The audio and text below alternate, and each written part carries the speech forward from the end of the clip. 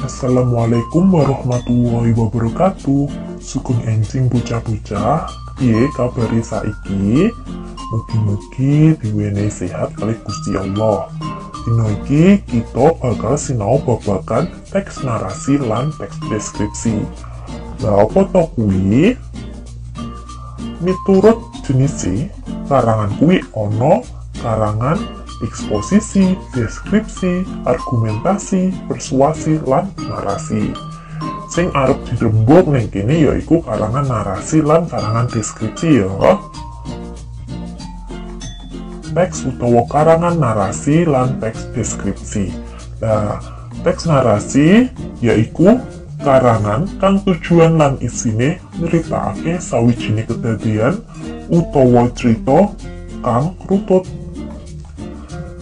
Teks narasi ngutamake onone lelakon utawa paraga lan unsur-unsur intrinsike, tema, alur, latar, ya, pesan moral, amanat. Dene teks deskripsi yaiku karangan kang tujuane nggambarake objek, panggonan utawa kedadian kanthi rinci. Jelas nganti wong sing maca kaya-kaya iso ngrasakne. Saking komplite nggambarake cerita, wong sing maca iku kaya-kaya ngrasakne lan ngalami dhewe apa sing diceritakake. Nah, saiki ciri-ciri teks narasi lan teks deskripsi. Teks narasi awujud prastawa utawa pengalaman. Kedadiane saka pengalaman nyata utawa rekodaya pengarangi dhewe dari cerita nyata maupun dari rekayasa si pencipta itu sendiri. Urutan waktu sing runtut ya kronologis. Ono parogo, papan panggonan yuwi mau sing pokok ono unsur-unsur intrinsike lan gunakake basa padinan ya basa lumrah sing dino-dino digawe. Dene tes deskripsi iku nggambarake sawijining bab utawa objek. Lah jelasake nganti jelimet, rinci, sapa wae sing maca kaya ngalami kedadian kasebut. Saiki bedane teks narasi lan deskripsi. Pambedane didelok saka isine. Narasi nyeritakake urutane kedadian. Dini deskripsi nggambarake kahanan objek kanthi rinci. Dini latar utawa panggonane, teks narasi, wektu panggonan lan sosial bisa gonta-ganti utawa ngalami owah-owahan manut pengarangi. Dini deskripsi mau nggambarake kahanan objek ing siji kang siji apa sing didelok ya kuwi sing diandharake. Dene pilihan tembunge teks narasi nggunakake tembung utawa kora sing biasa digunakake saben dina. Teks deskripsi nggunakake tembung utawa kora ukara sing bisa ngunggah rasa utawa narik kawigatang. Narik wong kang maca iso ngerteni intine objek. Dene konflik utawa pasulayan, ning teks narasi kuwi ana konflik pasulayan sing bisa nandekake owawane nasibe paraga. Dene deskripsi iku ora ana pasulayane, mula ora ana owahan nasib. Nah, saiki piye to carane nulis karangan narasi? Kaping siji goleki lan nempakake ide, idene digoleki dhisik, banjur kuwi critane digandeng nganti urut gawe rumus 5W lan siji H ya. Ini kuwi apa tema sing arep kok critake? Nah kuwi kudu dipikirne dhisik temane apa? Banjur kuwi kepriye ceritane iku kok andharake mau critakne ing ngendi papan dumadine cerita kapan prastawa iku kedaden?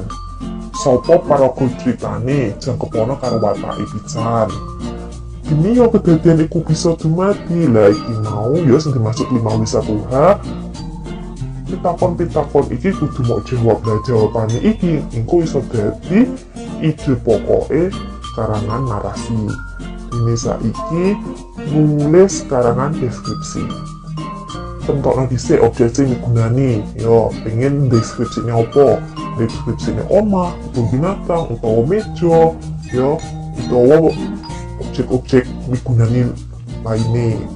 Banjur kuwi cerita disangkut nih karo ponco indro ya. Pripat kanggo ndeleng irung kanggo ngambu kulit ilat lan kuping lan sepanggalane ya. Banjur kuwi tentokno aspek-aspek utawa bab sing arep diandharake sing mau arep mau ceritane sing arep mau deskripsi iki apa nih ten ya tentang apa banjur kuwi rakitan nganti urutan sing becik. Waktune lokasine kepentingane ya. Lan kembangno kalanganmu jadi andaran cerita sing apik cerita deskripsi sing becik. Ya saiki delok tulodo niki ya. Turu cerita sing diwenehi garis orange ya iku contone teks narasi ya. Kegiatan paginaku mau isuk aku tangi jam 4 terus jupuk wudhu kanggo ngesake sholat subuh. Bubariku aku ngaji sawetara ayat. Terus inggal-inggal maca piwulangan kanggo sekolah isu iki. Banjur kuwi aku noto buku sekolah lan budal adus. Ya ning kono ana ceritane sing runtut oh tangi jam 4 bertangi jam 4 nyapo nyapo nyapo. Lah kuwi runtut kedadiane latare latar waktune esok jam 4 nah panggonane ning di ning omah ning kamar ya. Jadi ono unsur intrinsike dene tulodo nomor loro nih garis biru minimarket. Nyeritakake minimarket. Minimarket wujudnya sawijininge toko cilik kang gampang diakses umum. Toko sebangsan iki lumrahe manggon ing dalan kang rame Toko-toko kang kaya mengkene iki uga asring ditemokake ing lokasi perumahan padet sajroning kutha. Nah, dadi ning kiri iku diceritakne minimarket yo, minimarket kuwi apa? Oh, toko cilik, toko cilike panggone ning ndi? Oh, lumrahe ning dalan rame utawa ndek perumahan padet. Terus minimarketnya tinggi apa? Nah, itu menjelaskan tentang minimarket. Nah, bisa ngerti ya bedane teks narasi lan teks deskripsi. Es teknik malih ini iso dimengerteni dibalen-baleni malih nggih. Pun sak wae babagan teks narasi lan deskripsi dina iki ketemu malih ning pertemuan sakwise. Wassalamualaikum warahmatullahi wabarakatuh